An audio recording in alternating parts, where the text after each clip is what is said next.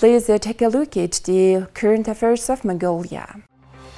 According to the Foreign, Commonwealth and Development Office of the United Kingdom, Fiona Blyth has been appointed as His Majesty's ambassador to Mongolia, succeeding Philip Malone, ambassador extraordinary and plenipotentiary of the United Kingdom of Great Britain and Northern Ireland to Mongolia, who will be transferring to another diplomatic service appointment.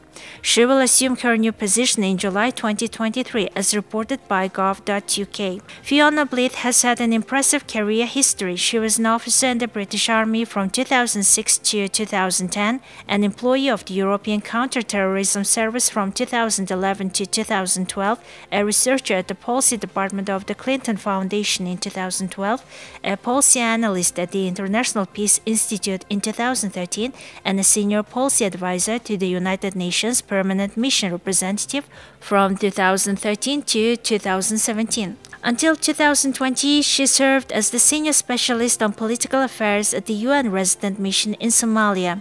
Ms. Blyth was the chief analyst Middle East at the Cabinet Office from 2020 to 2021 and was also the head of the group responsible for Russia and Ukraine at the Cabinet Office and the Secretariat of National Security.